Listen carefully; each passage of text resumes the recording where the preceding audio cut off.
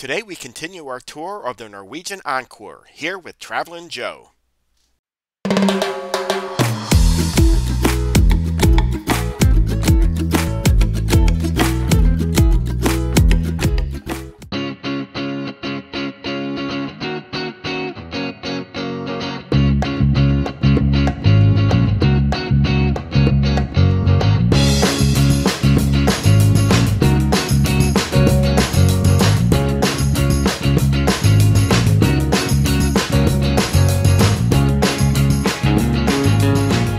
Hello everybody, this is Traveling Joe and welcome back to part 2 of our tour of the Norwegian Encore.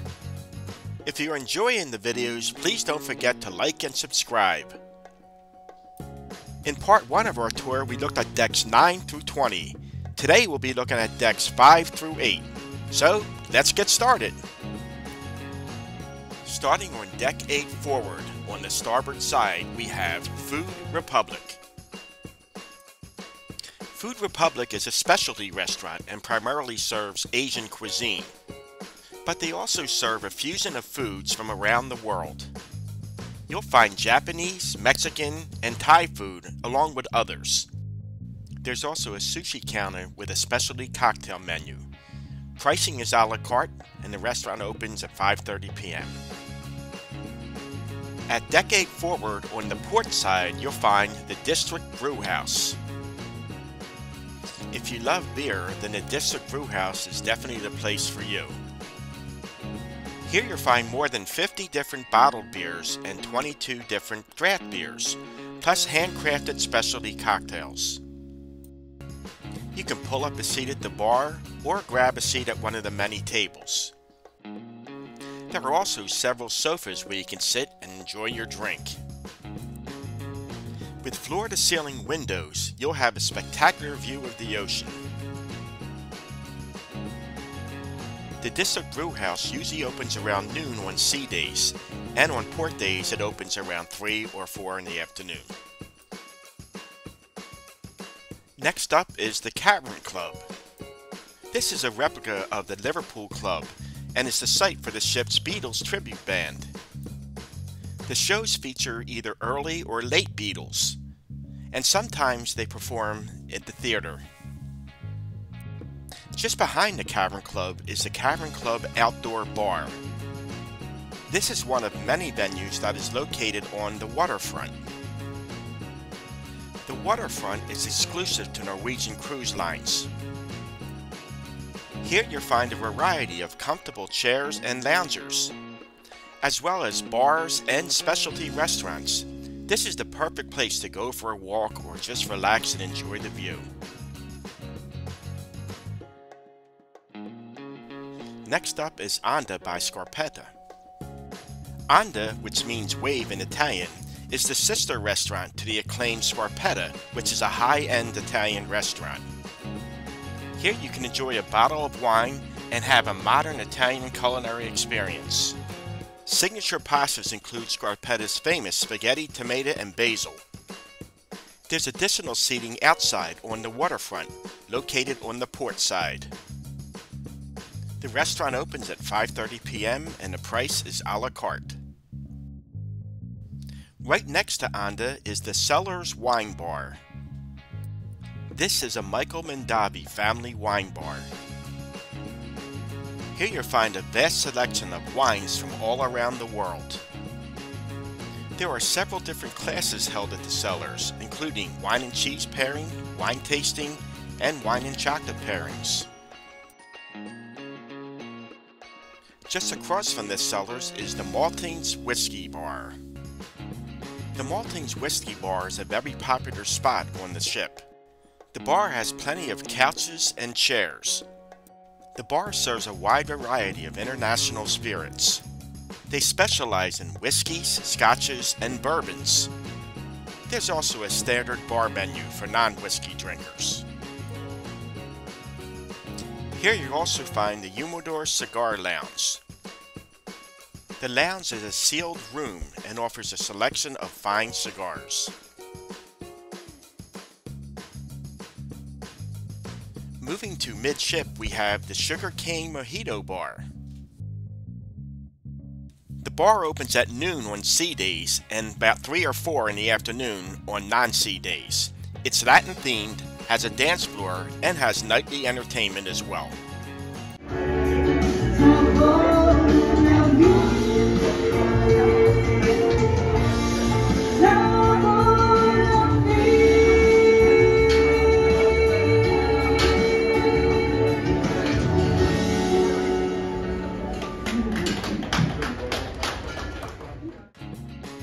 Next we have Ocean Blue, which is the ship's premier seafood restaurant. This is an upscale restaurant and is dedicated to sourcing the freshest seafood and highest quality ingredients available. Specialty items include the seafood linguine, the fisherman's platter, and the cold water lobster. Like the other specialty restaurants on Deck 8, there is seating outside on the waterfront. Make sure you make your reservations early. This is a very popular spot on the ship. The restaurant opens at 5.30 p.m. and the pricing is a la carte. Heading toward the aft of the ship, we come across the photo gallery. Among the items you'll find here are cameras, phone accessories, binoculars, professional portraits, photo books, and more. Deck 8 is home to all the ship's retail outlets, including Tradewinds Tax and Duty Free. Make sure to check your Freestyle Daily Planner, as many of these outlets offer deep discounts, especially as the cruise moves on. You'll find a large selection of jewelry, watches, fragrances, beauty, and spirits. There's also a selection of Encore logo merchandise, including shirts, caps, water bottles, and more. You'll also find several other outlets, including the Time Zone, the Jewel Box, and the Beauty Shop. The Time Zone is one of the most luxurious retail spaces on the ship. And the Jewel Box offers designs and fine jewelry from all the top names. At the beauty shop, you'll find a selection of fragrances from Armani, Dior, and others. The Sandbar offers tax and duty-free savings every day. Here you'll find jewelry, sunglasses from Gucci and Ray-Ban, apparel, handbags, as well as spirits. Next is Dolce, located on the waterfront. Dolce serves up gelato and fine baked goods. And finally, at the rear of the ship, you'll find two more specialty restaurants, Cagney Steakhouse and Las Lobos Mexican Restaurant. Las Lobos is a premier Mexican restaurant which serves traditional flavors with a modern twist. Specialties include Los Tacos, enchiladas, and carne asada steak. Los Lobos also offers outdoor seating on the waterfront. The restaurant opens at 5.30 p.m. and pricing is a la carte. Cagney's is Norwegian's signature steakhouse. It's an elegant room that serves a selection of steakhouse staples including beef, chops, and seafood. While I was there, I had the New York strip with gratin potatoes, and it was delicious. And Cagney's also offers outdoor dining at the waterfront. Restaurant opens at 5.30 p.m. and pricing is a la carte. Lastly, there's the A-List Bar, which is located between Cagney's and Las Lobos. This is the perfect place to get a pre or post dinner drink. Moving down to Deck 7, at the front of the ship is the Encore Theater. Currently, there are two terrific shows playing here at the Encore Theater. The hit Broadway musical Kinky Boots with music by Cyndi Lauper and London's West End hit Choir of Man. Both shows are outstanding, and if you get there early for Choir of Man, you may be invited on stage to have a beer on their pub set. There are also other shows like the Beatles Tribute Band, as well as comedy, juggling, and many others. Norwegian is noted for their entertainment venues, and you won't be let down. Next is the local Bar and Grill. This is a complimentary venue and is open 24 hours a day. The restaurant features pub-style food like chicken wings, fish and chips, and hamburgers. There are bar seats that wrap around the atrium where you can watch people down below. This is an extremely popular venue on the ship and can get quite crowded, especially during the evening hours. This is also a great spot to watch all the events that happen at the atrium down below. The local also features a bar where you can have a drink and watch some sports. Just off to the side of the local is one of the two video arcades on the ship. The arcade features a pool table as well as basketball and other arcade games. Please note that there is a charge to play these games. The other arcade, which is located on deck 5, is the larger of the two. This arcade never seems to get crowded. Moving on to midship, we come to the Encore Casino. Here you'll find a large selection of slot machines. There are also table games, including roulette, blackjack, poker, and craps. In addition, various tournaments are held throughout your cruise. The Skyline Bar inside the casino offers bar-top poker games. There are several TV screens, and this is a great place to catch up on sports.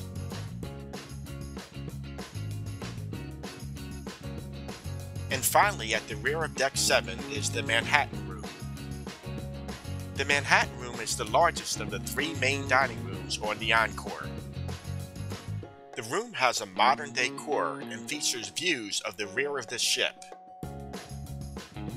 With Norwegian's freestyle dining, there are no set dining times. There's also no assigned seating like most other cruise ships. The Manhattan Room opens for dinner at 5 p.m. and is complimentary. Moving down to deck 6 forward, we find Q Texas Smokehouse. This barbecue restaurant offers all of your favorites like short ribs, chicken, spare ribs, brisket, and more. There's also a country music band that plays during the evening. Prices are a la carte. Next we come to the atrium, which is the main hub of the ship. The atrium features a giant screen and has plenty of tables, chairs, and sofas. There are numerous activities throughout the day, including Deal or No Deal. There's also morning and afternoon trivia, numerous lectures, and how-to seminars. This is another very popular area to ship, but there is plenty of seating, and during the afternoon and evening you'll find entertainment.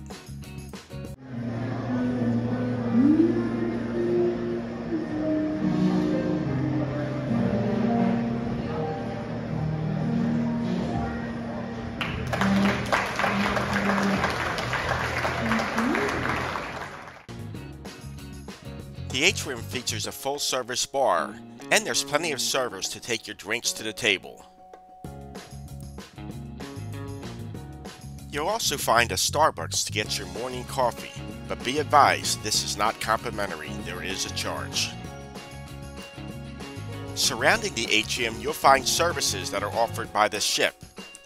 They include shore excursions, onboard credit, and most importantly, guest services. There's also a Cruise Next booth where you can start planning your next cruise. The Internet Cafe has computers where you can go online. They will also answer all of your Wi-Fi questions. Buy the Wi-Fi early and you could save a couple dollars. The Perspective Studio offers professional photographers and they will make a beautiful portrait of your trip. And finally, behind the atrium, you'll find some meeting rooms and a card room. At midship, you'll find a beautiful, colorful three-story chandelier. There are two elegant staircases that take you from deck 6 to deck 8. And right at the center, you'll find The Social. The Social offers two nightly comedy shows, one at 7 p.m. and the other at 9 p.m. The 9 p.m. show is for adults only. The area is also used as a nightclub and features nightly DJ music. There's also special events like late night clubbing and silent disco. The space is also used for art auctions.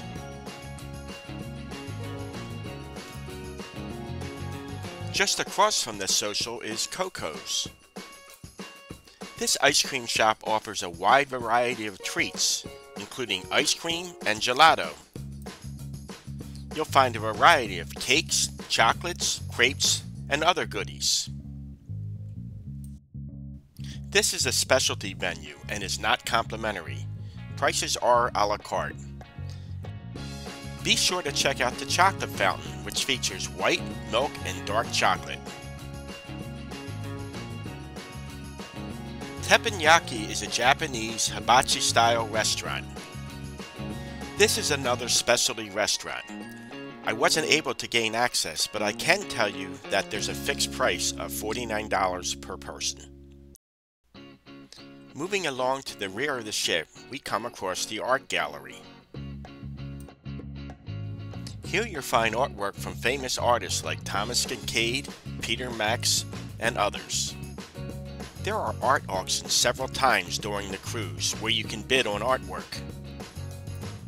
Invitations for the art auction are normally left in your stateroom. I've never participated in one, but if you have, drop me a line in the comments section. And finally, at the rear of the ship, we come down to our last two dining rooms. Taste is complimentary and offers dinner starting at 5.30. In addition, breakfast is also served daily. This is a good alternative to the Manhattan Room if you prefer a smaller restaurant. And my recommendation is the Shrimp Fettuccine Alfredo. Just across from Taste is Savor, which is also complimentary. Savor is nearly identical to Taste in its size and decor. And both dinner and breakfast are served here. The menus at Savor, Taste, and the Manhattan Room upstairs are all identical. One of my favorites was the three cheese baked ziti. It was yummy. And right between Savor and Taste, you'll find the Mix Bar. Just like the A-list bar upstairs, this is the perfect place to grab a drink before or after dinner. And finally, we move down to Deck 5. There are only a few public areas on Deck 5, and they're dedicated to kids and teenagers. Here you'll find the ship's main arcade, which is much larger than the arcade on Deck 7. This space is definitely geared toward a younger crowd. There's car racing, pinball, Halo, and more. Entourage is a teen club that offers movies, videos, and dancing. And finally, we come to Splash Academy. Splash Academy offers numerous activities, including sports competitions, adventure themes, and parties. There's plenty of fun to be had for kids ages 3 to 12 years old.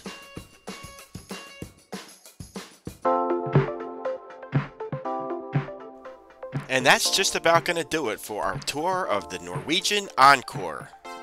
I hope you enjoyed our two-part video, and if you did, please don't forget to like and subscribe to the channel. As we sail off into the sunset, this is Traveling Joe saying thank you for watching, and we'll see you on the next video.